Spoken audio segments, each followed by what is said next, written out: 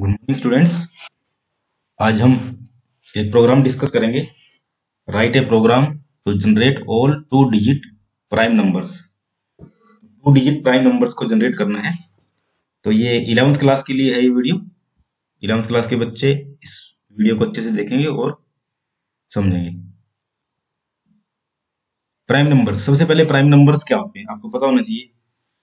Numbers which are not divisible by any number including one and self जैसे two three five तो ये किसी भी नंबर से डिवाइड नहीं होते।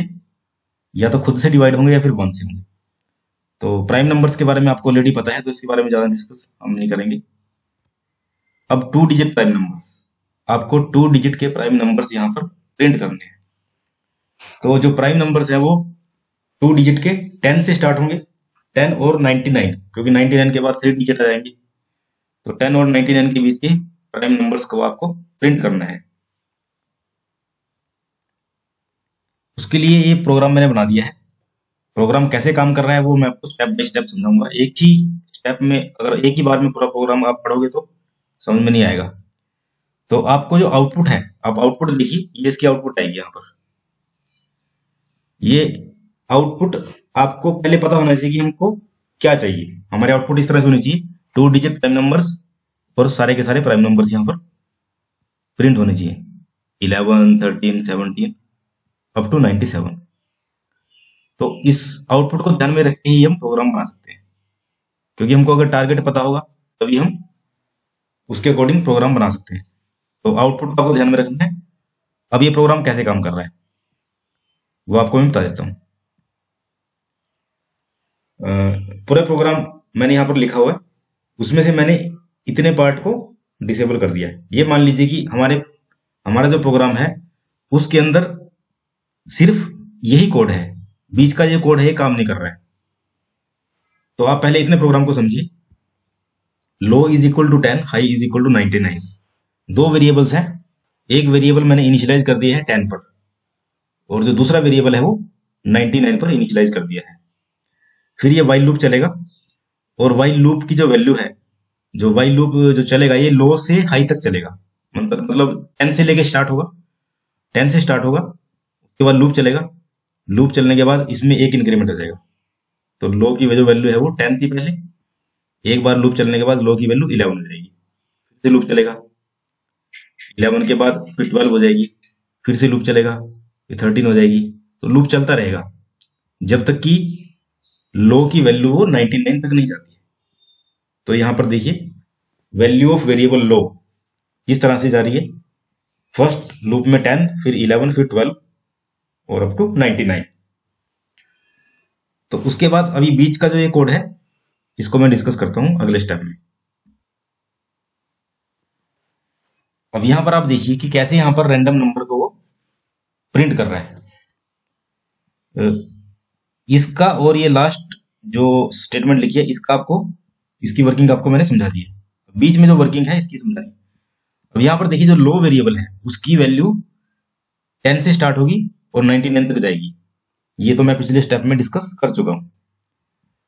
अब क्या होगा? हर लूप के अंदर, जब भी लूप चलेगा फ्लैग की जो वैल्यू है, वो ज़ीरो से इनिशियलाइज होगी। ये देखिए while low is less than equal to high flag is equal to zero मतलब जैसे ही लूप स्टार्ट होगा फ्लैग की वैल्यू ज़ीरो पर इनिशियलाइज हो जाएगी। और जब अगली बार लूप चलेगा, फिर से ज़ीरो मतलब वो लूप स्टार्ट होती ही, आपकी वैल्यू ज़ीरो से इनिशियलाइज हो जाएगी। तो ये फ्लैग की इनिशियल वैल्यू है। और लूप खत्म होने पर फ्लैग की वैल्यू क्या रहेगी? वो यहाँ पर है। तो हमारी फ्लैग की वैल्यू डिसाइड कर करेगी कि उस लूप के अंदर जो हमने वेरिएबल यूज़ किया है लो वेरिएबल वो प्राइम है या नहीं है।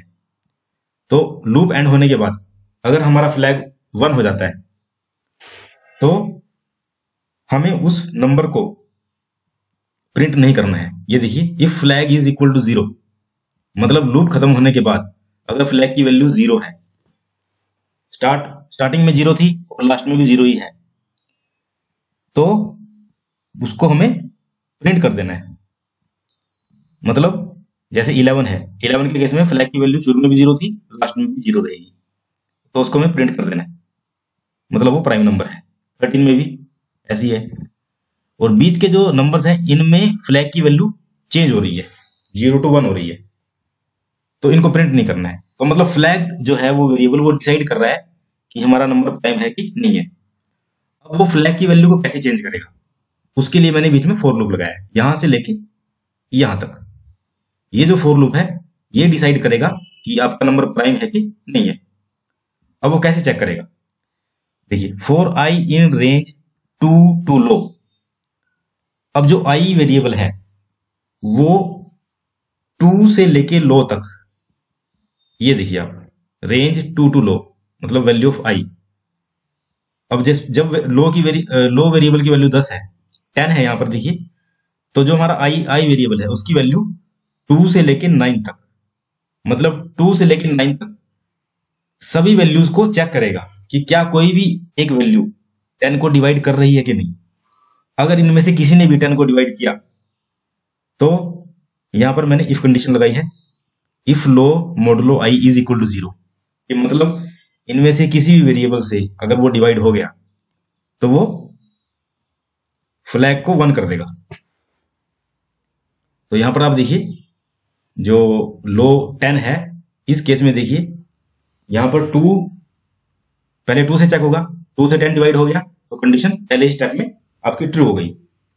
तो आपका जो फ्लैग है वन हो गया। और फ्लैग वन होते ही ब्रेक हो जाएगा। क्योंकि अगर वो एक ही नंबर से डिवाइड हो गया तो मुझे अगले नेक्स्ट जो नंबर है, उनसे चेक करने की ज़रूरत नहीं है। इसी तरह से इलेवन इलेवन के केस में क्या होगा? सबसे पहले टू से चेक करेगा। टू से इलेवन डिवाइड नहीं होता है। थ्री से करेगा थ्री से भी नहीं होता है। फोर से करेगा तो फोर से भी नहीं होता। सबसे डिवाइड करेगा वो। Four five six seven eight nine ten कोई भी नंबर इलेवन जो है वो किसी भी नंबर से डिवाइड नहीं होता है। तो नेवर ट्रू तो आपकी जो टेस्ट कंडीशन है वो कभी भी ट्रू नहीं होगी और आपके फ्लैग की वैल्यू ज़ीरो की ज़ीरो ही रहेगी। तो ज़ीरो की ज़ीरो ही रहेगी तो ये प्रिंट हो जाएगा। इलेवन प्रिंट हो जाएगा। ट्वेल्व के केस में ऐसा नहीं होगा, क्योंकि ट्वेल्व टू से डिवाइड हो रहा है। टू से डिवाइड होते ही कंडीशन फॉल्स आपकी। तो कंडीशन ट्रू हो जाएगी। कंडीशन ट्रू होते ही फ्लैग की वैल्यू वन हो जाएगी। तो इसी तरह से थर्टीन फोर्टीन फिफ्टीन सब केसेस के लिए मैंने यहाँ पर लिखा है। एंड सो ऑन लास्ट में नाइनटी नाइन नाइनटी नाइन के केस में क्या होगा? नाइनटी नाइन टू से तो डिवाइड नहीं होगा थ्री से डिवाइड होगा। थ्री से डिवाइड होते ही कंडीशन ट्रू और फ्लैग की वैल्यू वन फ्लैग की वैल्यू वन होते ही आपका फोर लूप एंड हो जाएगा। और इफ़ कंडीशन जो नीचे यहाँ पर हमने यूज़ की है इफ़ कंडीशन में ये प्रिंट नहीं होगा। तो आपका जो फाइनल आउटपुट है वो इस तरह से आएगा।